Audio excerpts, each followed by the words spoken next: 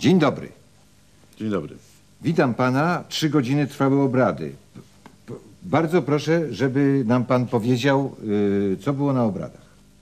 Był pan w środku? No nie byłem, bo państwo nie wpuścili dziennikarzy. Po to nie wpuściliśmy, żeby nie mówić. To teraz ja mam wyjść i mówić? Jakbyśmy chcieli, to byśmy wpuścili i by było wiadomo. Ale przecież y, pytam w imieniu milionów A telewidzów. co miliony telewidzów? A co pan mnie będzie szantażował milionami telewizorów? Że pan kamerę ma?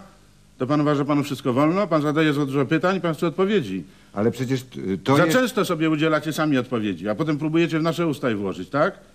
Co to jest? Szantaż, światło i ja muszę wszystko mówić? Y, y, chciałem Mi się pana... wydaje, że... Co pan chciał? Przepraszam bardzo. Chciałem pana zapytać w imieniu milionów telewidzów, o czym były obrady. Niech pan mi nie szkli milionami, proszę pana, bo pan jest sam. Ja nie wiem, w jakim właściwie charakterze pan tu jest, co pan tutaj sobie przynosi pan na głowie. Pan, pan mi jakimś podczuwa. Dlaczego pan tu w ogóle wszedł? Co pan myśli, że pan może pozwalać sobie? Następnym razem pana tutaj już nikt nie wpuści. Z Sejmu dla ser- serwisów mówił Krzysztof Mater.